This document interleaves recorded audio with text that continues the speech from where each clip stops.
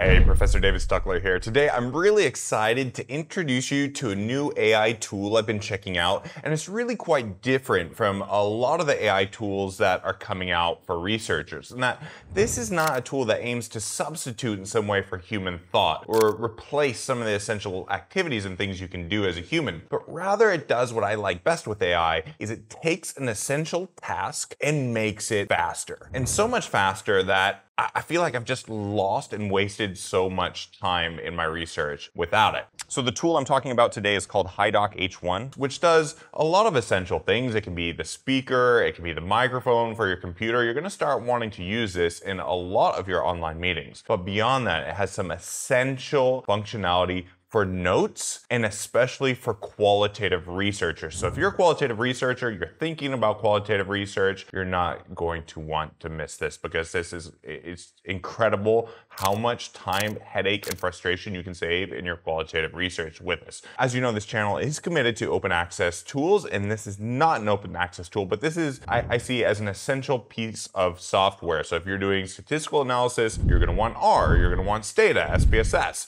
something like that. If you're doing qualitative research, I would go so far as to put this in the same category and I'll explain why here in just a second. So what I'm gonna do is I'm gonna briefly review the tool, its functionality, show you how to use it, and show you how it compares with what else I've been using for note taking. And then I'm gonna review some of the things that maybe some areas of development about it that I think can be enhanced and I, I feel like will be enhanced. And we're gonna do a side-by-side -side comparison and see really how it performs on note taking. So again, it's gonna be useful for qualitative researchers, but really anybody who might be sitting in a classroom room listening to a lecture with a professor like myself wanting to take notes. I think the days of furiously scribbling to try to capture what a professor is saying are are essentially gone. So uh, let's dive straight in. So when talking about qualitative research, I'm really referring to those deep observations we get ourselves from observing people interact kind of passively, trying to understand situations that they go through and the meanings it has for them. And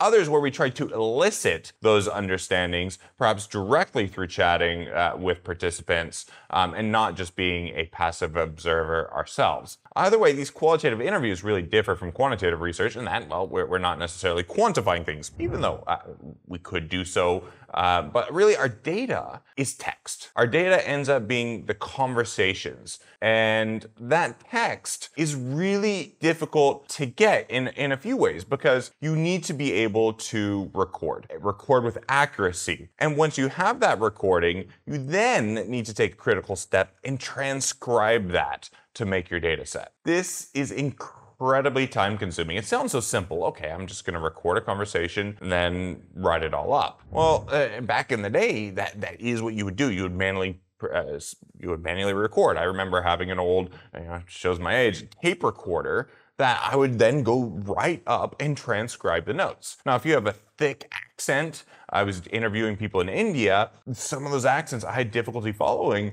Uh, months go by, I've done hundreds of interviews, couldn't reconstruct what was being said. Other times, I might have multiple speakers. I was doing a focus group, couldn't remember who said what. And sometimes the voices were, it was a little grainy, a little crackly. I couldn't distinguish, you know, which speaker was saying which thing. Uh, all of that is now beginning to change. Now, I've really shifted a lot of my qualitative research online for the simple reason that it's so much easier to do rather than go out in the field, which oftentimes is optimal. There are actually a lot of advantages to working online because you can standardize the interviews. You have the same interview environment and context. You can reduce a lot of the variables that can create bias in your study by ensuring that you're conducting the interview in the same way, you're collecting data in the same way, uh, you're going through the same process of obtaining consent. And again, it, it, just increases your reach and your response rate, as a lot of people might be too busy to organize a meeting in a different place. You've got to meet them where they're at in, their lives or find a point, mutual point of encounter. Um, it's much more easily to schedule and coordinate. But like I said, the, the big issue has been transcribing, and that's where the HiDock H1 really comes in. So what I've been encouraging my students to do is to perform their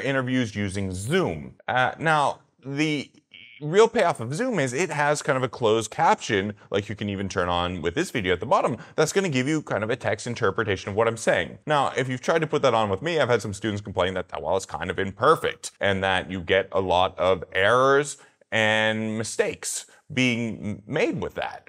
Um, and so Zoom I recommend because it's so much better at automatically closed captioning and taking notes with a caveat. You need a premium subscription to Zoom and you need to have some cloud space because the normal recording of Zoom won't do it. You actually need to go and get it to upload to the cloud and then Zoom has some processing tools that will spit out the audio as well as a transcript for you. And so what I'm to do is I'm to show you how well that transcript does based on a meeting that I had recently. This is where HiNotes really, really shines. Firstly, this thing sits nicely on your desk and integrates into what you're already doing, much like Zoom. But what it does is it records better. All right, just full stop. It just it's a better recording than Zoom of of the voice and the text. And what you get from it is a detailed transcription that goes beyond what Zoom can do and that it can actually identify and distinguish different speaker voices. And that's because this is integrated to be powered with AI. So if you want to record with this tool, simply here, you just click the record button and I'm going to do that here now. And that is going to start creating a template of what's been said. And through its AI power, it's also able, I've tested this on different accents, it's able to differentiate accents and reconstruct what's being said with higher quality than I think in some ways I might have even been able to do myself. Again, using some language algorithms to fill in the gaps and probabilistically ascertain what most likely uh, has been said. You can adjust the degree to which that, that fills in, but I, I find it really, really helpful. So let me give you a side by side here. So after you've made your recording, all you're going to do is come into this HiNotes platform and you'll see my different recordings.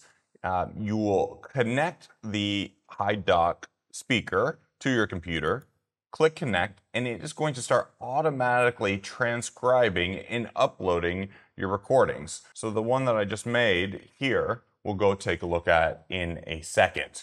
Um, but for now, I want to come back and show you the way that I've been recommending students do their interviews, which has been through Zoom. And so the typical way that you're going to go there is, let me pull up Zoom for a second. Here I've got Zoom. You will record, but in Zoom, you'll hit the option to record to the cloud. At that point, if you have the premium Zoom service, you will get a download with different items. You'll get an audio file and you'll get Zoom's transcription of the file. So let me show you an example of what this looks like so you can compare a bit side by side. So you'll get this VTT file. I tend to open this up in Word. And it's going to look a little bit like this. Um, now, you'll notice this won't differentiate uh, different speakers quite, quite right. And it also captures a lot of strange things. Like you can see on a call, no one said anything about aggressive Canada. Yeah, and I just ready in case of those children. It, this is very, very frustrating because these things are just, you know yourself, are wrong. And oftentimes, if you've just done 50 to 100 interviews, you come back and look at this, you don't know what's been said. And you don't want to upload this to, to your file. Often in qualitative research, you might upload in transparency your full data set as an appendix or web appendix so that anybody can check your assumptions, um, your analysis of your data. Um, so you're gonna have to manually go back through all of this. And so even though this starts you and gets you maybe 50% of the way there, you still have a lot to do to go back and listen to each recording and clean this up. So let me come back to the real power of HiDock. So here I have an example in HiDock of a meeting summary that I had with a student. And you can see it's identified different speakers from different voices, which is fantastic. And so it, will go through and you'll see here, I'm not gonna go through all this, but this is a much more accurate conversation going on. And it I can jump through to the different voice marks. I can replay it. I can copy and paste. I can spit this out, export it in different file formats with the option here. I mean, this is just brilliant. Um, the other thing that's nice is you also get a summary here that if you're creating a note from your meeting, you can actually spit out and send. In my case, I might send notes of my meetings to a student afterwards so that student can focus with me in our conversation together rather than having to furiously scribble notes, which can distract them as they're focusing on writing a note. They're not necessarily listening to the next thing that you're trying to say or the point that you're trying to make. Um, so the power of this AI summary to identify the speakers, to get the transcript, I mean, if Zoom was maybe 50% riddled with errors, um, this is maybe 85, 90%. And it's just so seamless for me to go back in in the audio file because it's integrated to find, oh, wait a second, I don't think this word's right. Let me see. Oh, it's right here. I can replay that and touch it up very quickly before moving it over to NVivo, ATLAS.ti, one of the other analysis platforms. So let me give you an example from what I just recorded here so you can get a sense of how accurate and simple that can be. As you can see, it's captured me and what I've said let me reread it and uh, see. You'll see there's still some rough parts around the edges, but it's just so much better than what's come before that uh, these things can be easily forgiven. So here, and through his AI power, he's also able to, I've tested this in different accents, able to differentiate accents and reconstruct what's being said with higher quality than I think in some ways I might have even been able to do myself. Um, using some language algorithms to fill in the gaps and probabilis probabilistically ascertain what most likely has been said. Um, you can adjust the degree to which that fills in, but I find it really, really helpful. So let me give you a side by side here. So as you can see, this is pretty close to the transcript. I mean, yes, if you're doing this manually by hand, you could get this more accurate on the first go, but how much time has this just saved you? It's incredible. The other thing I really like is, again, um, it summarized kind of the key points that I was already making. I mean, I can even see you turn on a YouTube video, you hit this transcribe button as you're playing it, and this will just summarize the YouTube video for you. Imagine you do that, you get a friend to record your class, and you just get the take home summary from it just from hitting record um, without having to go through it. I mean, often I'm watching YouTube videos in double speed, or right, a lot of people are shifting now to getting their information visually from watching videos rather than reading books.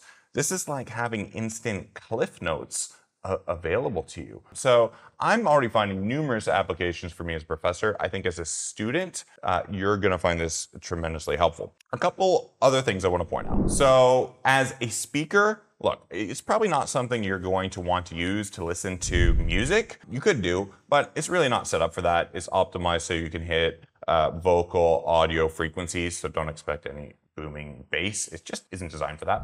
The other thing that's really nice when you're on Zoom calls, uh, you've all been on perhaps these online meetings where somebody's audio starts bleeding back in. And that's a problem with a lot of speakers. This actually has a red control knob where you can adjust that bleed. It has noise cancellation built in so that the people on the other end are going to hear really high quality audio from you without noise bleeding back in. As a microphone, look, I mean, I'm using a lapel mic here that's going to always deliver you higher quality um, and needs not be expensive. This microphone is the same as using a microphone on your webcam and others. It's just not, it, it's good, it works. It's just not really where this product shines and stands out, which, as I said, in sum, I think is a game changer for qualitative research. I'm about to launch my next qualitative research project uh, with one of my postdocs and 100% where this is what we are going to use. We have shifted from Zoom to this platform. When buying HiDock H1, you do also get included lifetime free transcription service with HiNotes, which by the way is powered by ChatGPT.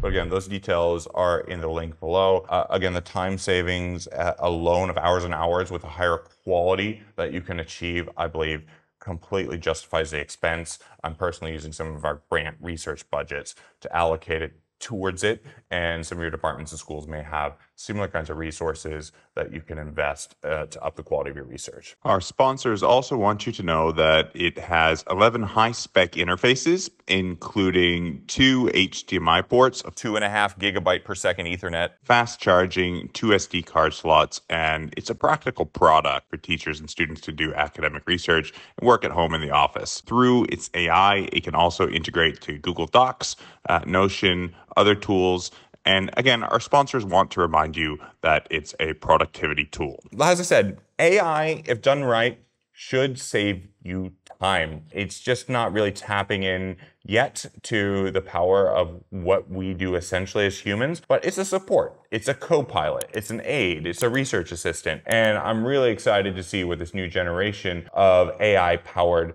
software and hardware can do that opens up possibilities that never before uh, were, were possible. For a grad student, that might mean instead of just looking at 10 interviews, you can now easily crank out 30 or 40 focus on the science, not on the laborious, cumbersome, time consuming tasks of manually transcribing your data. Guys, if you haven't already, join my Facebook group and stay tuned because I'm going to bring you the best, uh, no nonsense of what I believe AI and its power has to offer you both in hardware and software. And as ever, if you want to learn the right way to do things as a researcher, which I always recommend before integrating the power of AI, um, be sure to tap our free master classes on things like lit reviews, statistical analysis, qualitative research, academic writing, many of the things as well. There are soft skills like productivity that we're just not taught in our universities, but you need to know and you, need to get right. And you may not have a system for doing, which we've developed. So look forward to seeing you there. We can be in touch in the DM and uh, you're not going to want to miss this next video on AI I've got for you.